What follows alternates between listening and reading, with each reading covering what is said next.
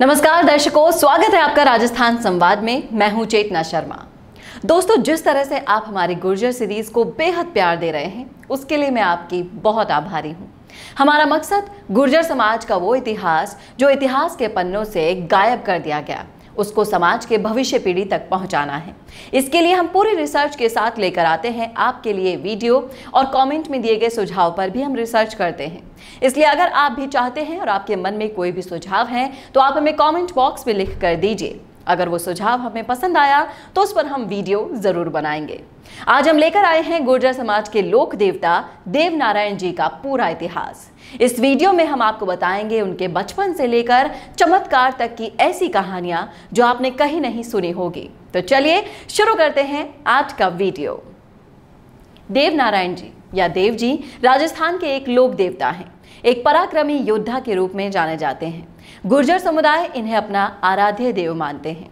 ये बगड़ावत वंश के नागवंशीय गुर्जर थे, जिनका मूल स्थान वर्तमान में अजमेर के निकट नाग पहाड़ था। गुर्जर जाति एक संगठित, सुसंस्कृत वीर जातियों में गिने जाती है, जिनका आदिकाल से गौरवशाली इतिहास रहा है। समाज में प्रचलित लोक कथाओं के माध्यम से गुर्जर जाति के शौर्य पुरुष देव नारायण के संबंध में ढेर सारी जानकारियाँ मिलती हैं। देवनारायण जी महागाथा में इनको चौहान वंश से संबंधित भी बताया गया है। देवनारायण की फड़ के अनुसार मांडल जी के हीराराम हीराराम के बाघ सिंह और बांग सिंह के 24 पुत्र हुए, जो बगड़ावत कहलाए। इन्हीं में से बड़े भाई सवाई भोज और माता साड़ू के पुत्र के रूप में विक्रम संवत नौ सौ अड़सठ में माघ शुक्ला सप्तमी को अलौकिक पुरुष देवनारायण जी का जन्म मालासेरी में हुआ था। देवनारायण पराक्रमी योद्धा थे, जिन्होंने अत्याचारी शासकों के विरुद्ध कई संघर्ष और युद्ध किए।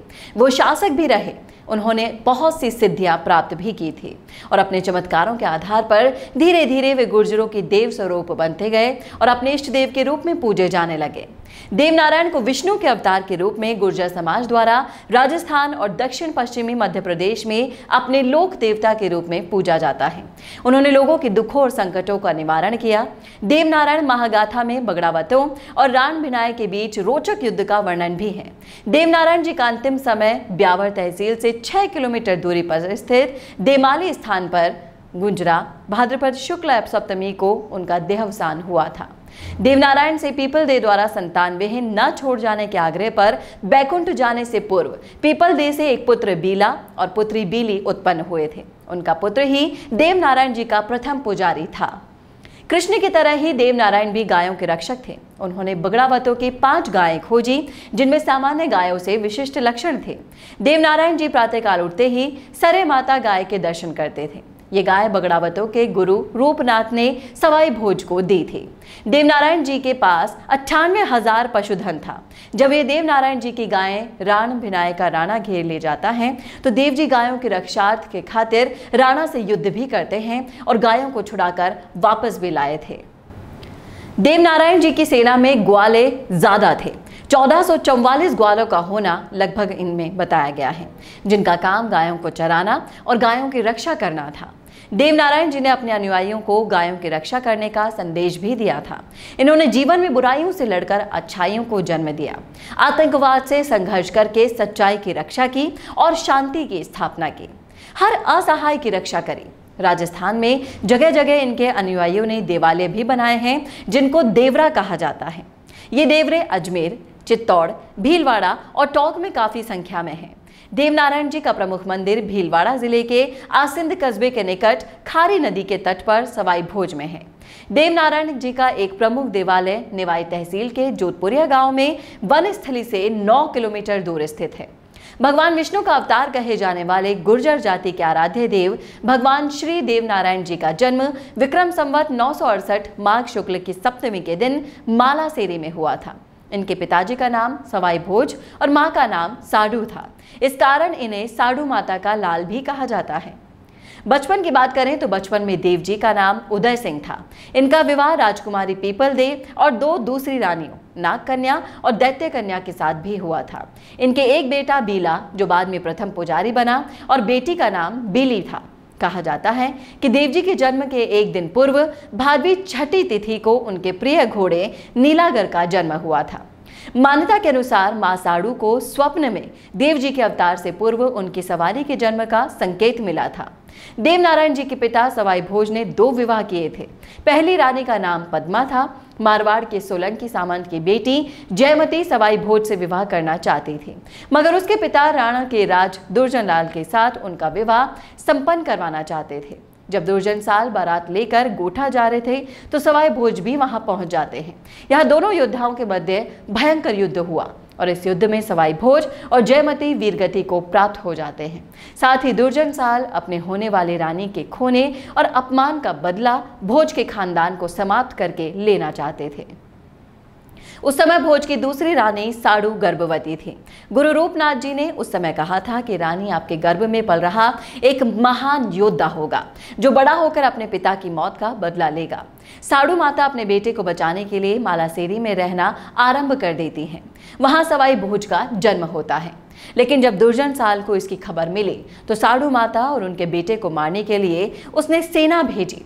जब ये खबर साड़ू माँ के कानों में पड़ी तो उन्होंने देव नारायण जी को लेकर अपने पीहर देवास का रुख कर लिया।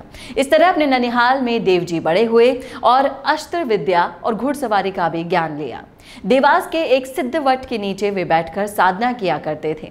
राजस्थान के चमत्कारी लोक देवताओं में देव नारायण जी भी एक थे। ये एक सिद्ध पुरुष थे। जिन्होंने अपनी सिद्धियों का प्रयोग समाज के कल्याण और उत्थान के कार्यों में किया। उनके मुख्य चमत्कारों में छोचो भाट को जीवित करना, पीपल दे की कुरूपता दूर करना, सूखी नदी में पानी बह निकलना, सारंग सेठ को पुनर्जीवित करना जैसी ढेरों चमत्कार शामिल हैं। विष्णु की साधना करने वाले देव नारायण जी ने देवीय शक्तियाँ प्राप्त की थी। एक बार की बात है कि धार के राजा जय सिंह अपनी पुत्री पीपल दे की अस्वस्थता के चलते देव जी के पास आए। उन्होंने अपनी शक्तियों से पीपल दे को बिल्कुल ठीक कर दिया। आगे चलकर इन्हीं राजकुमारी के साथ देव जी का विवाह हुआ था। संपूर्ण भारत में गुर्जर समाज का ये सर्वाधिक पौराणिक तीर्थ स्थल है। देव नारायण जी की पूजा भोपाओं द्वारा की जाती है। ये भोपा विभिन्न स्थानों पर जाकर गुर्जर समुदाय के मध्य फड़ यानी कि लपेटे हुए कपड़े पर देवनारायण जी की चित्रित कथा के माध्यम से देव जी की कथा का वाचन करते हैं।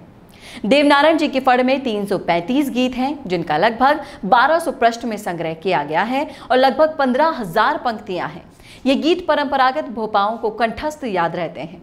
देवनारायण जी की फड़ राजस्थान के फड़ों में सर्वाधिक लोकप्रिय और सबसे बड़ी है। संवत 999 में महज 31 वर्ष की अल्पायु में भगवान देव नारायण ने इस लोक को अलविदा कह दिया था।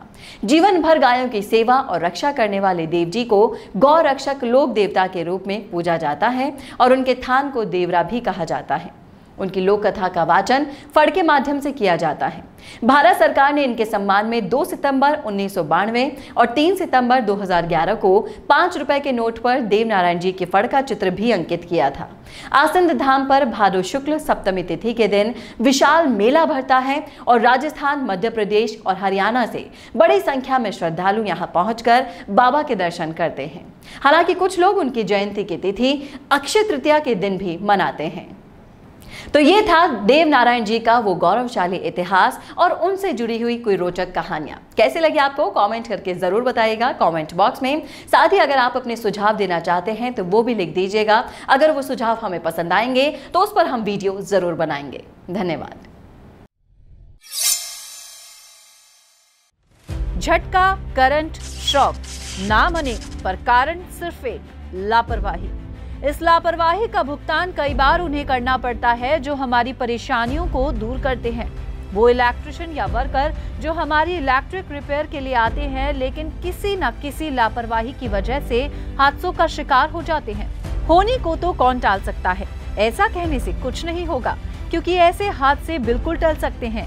अगर आपके घर में लगा हो सेफ़ ऑन पावर प्योरीफायर रहो shock free safe on power purifier के साथ। इसे लगवाने के लिए आज ही अपने नजदीकी डिस्ट्रीब्यूटर से संपर्क करें।